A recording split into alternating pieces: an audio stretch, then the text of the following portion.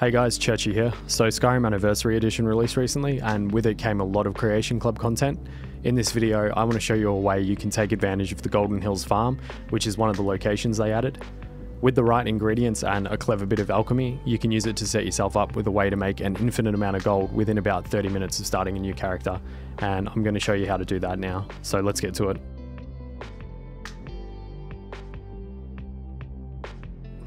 So here you are at the cave just outside Helgen after completing the introduction. Make your way to Riverwood, grab some more Tapinella on the way, and also activate the Feith Standing Stone. You only need one more for this to work, but the more you find, the better.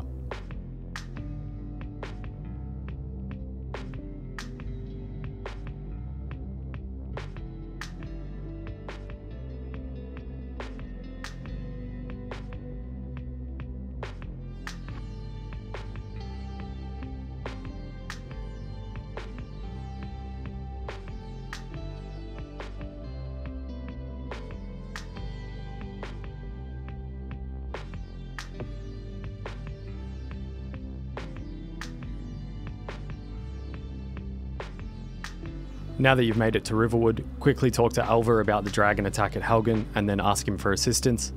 Take all of his items and then sell him some stuff, then stop by the merchant and sell a few more things there. You're only doing this to cover the costs of hiring a carriage to Windhelm and then Riften, so you only need 40 gold total.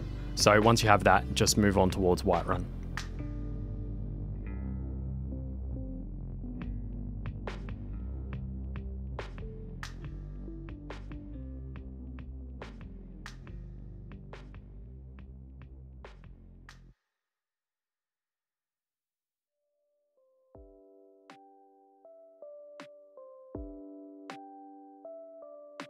So make your way down to the Whiterun stables and grab any more you find on the way, then hire the carriage and travel to Windhelm.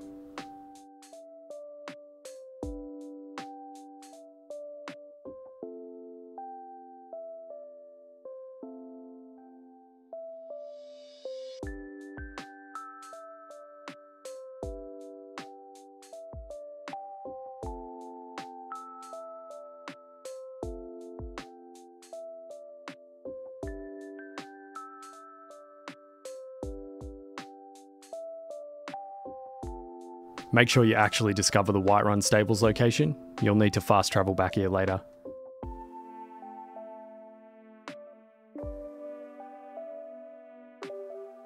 Now that you've made it to Windhelm, take the road leading south, and on your left, you'll see a map marker for Kynesgrove. Just after the road branches, if you look to your right, you can find a bunch of creep clusters to harvest. Harvest the creep clusters, fast travel back to the Windhelm stables, and then hire a carriage to take you to Riften.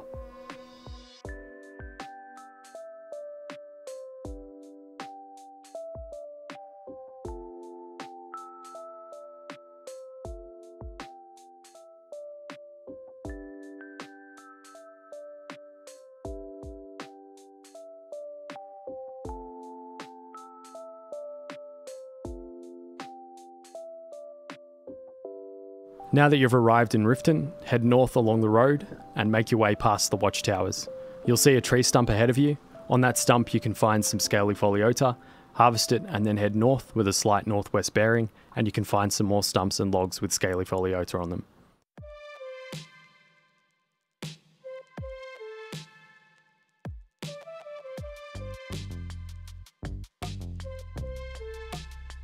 Now turn around and head back towards Riften, but make your way east towards the mountain slopes on your way back, and once again you can find some more logs and stumps with scaly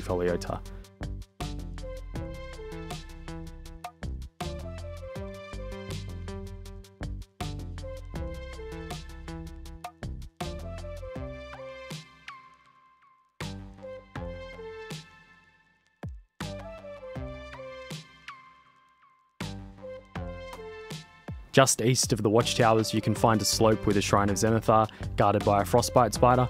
On the shrine, you can find an amulet of Zenithar, which can be nice to have because it improves prices by 10%.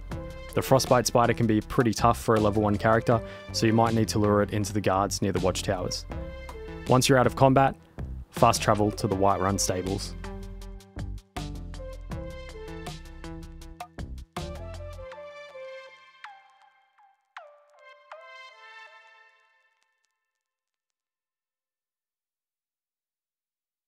Now that you've made it back to the Whiterun stables, steal a horse and enjoy a scenic ride west across the tundra.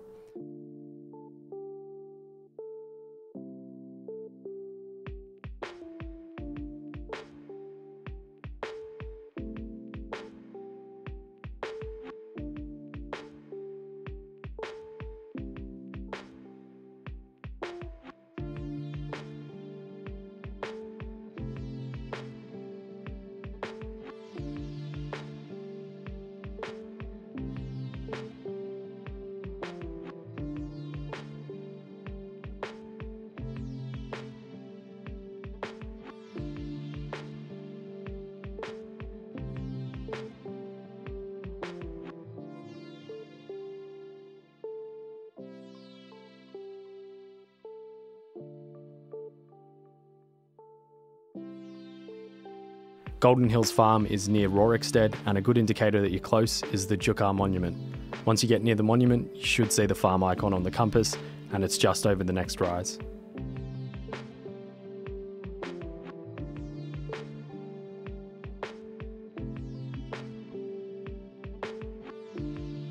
When you arrive at the farm, a ghost will attack you and a quest will begin. Complete the short quest and the farm will be yours.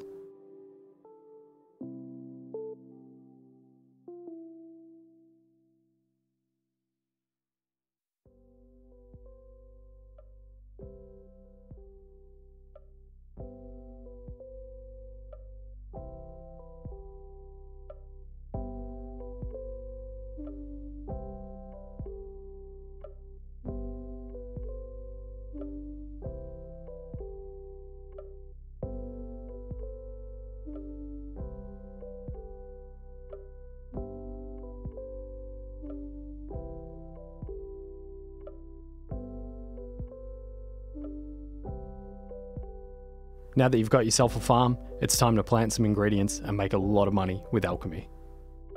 The Goldenhills farm has a total of 44 plantable plots for ingredients. The larger area has 27 plots, and in this area, you want to plant 13 Mora tapinella, 7 creep cluster, and 7 scaly pholiota.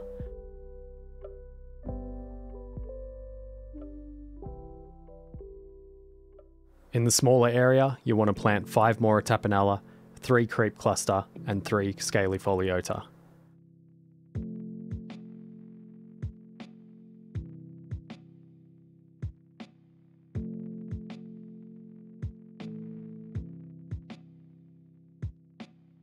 You can also craft some planters for your farmhouse, which provide you with an additional 6 plots. In these plots, plant 2 Mora tapinella, 2 creep cluster, and 2 scaly pholiota. You'll need 2 firewood and 3 quarried stone to build them.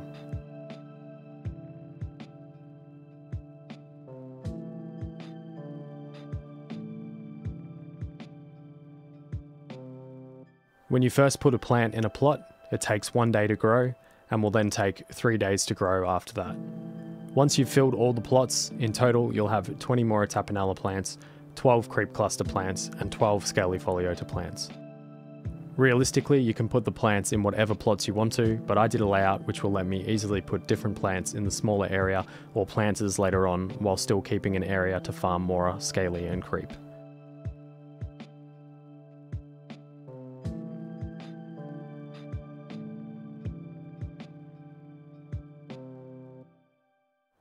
Realistically, you also don't have to have this many of each plant. You can only use one area if you want to. I'm just showing you the full potential of what you can do with it.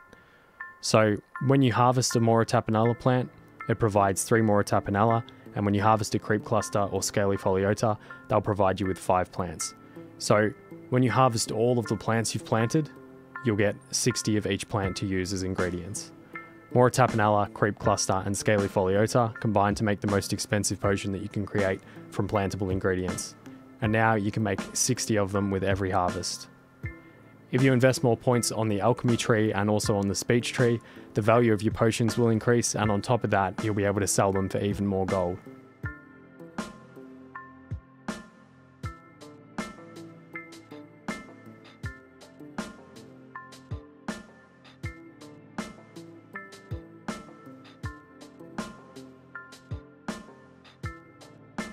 A really handy perk to get on the speech tree is the merchant perk because it allows you to sell your potions to any merchant, which means you can buy whatever you want and then sell potions to get your gold back after your purchase.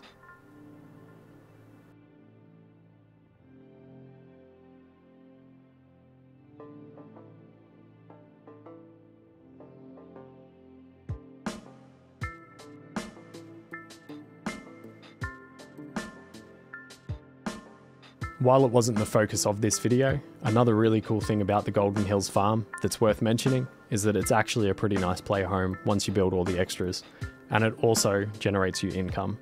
Just talk to your farm steward for a little bit of extra cash. So that's it for this video. Now you have a way to generate infinite gold within about 30 minutes of starting a new character, and on top of that, you've got a nice place to live. This guide has basically been an update or alternative to part 1 of my Skyrim Like a Boss series, but that video does still have a few handy tips, and if you're really keen, you can follow it and set up another moneymaker using the same plans. After watching this anniversary video, you can also potentially skip part 1 and go straight to part 2 and part 3 of the Skyrim Like a Boss series. Part 2 shows you how to max your crafting skills, and part 3 will show you how to basically become a god with full Daedric armor, powerful enchantments, and 100% magic resistance. All of those videos also follow the same idea of this video, just in terms of trying to set yourself up to be extremely powerful and rich very quickly. Thank you to the legends supporting me on Patreon. I couldn't be doing this sort of thing without your support, and I really appreciate it. And thank you for watching. Have a good day or night, whichever it may be, and I'll see you in the next video.